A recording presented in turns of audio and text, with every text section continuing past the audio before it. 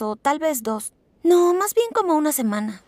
Claro, ahora entiendo por qué nunca supiste de esa persona. En ese tiempo tú estabas con tu familia en Kioto.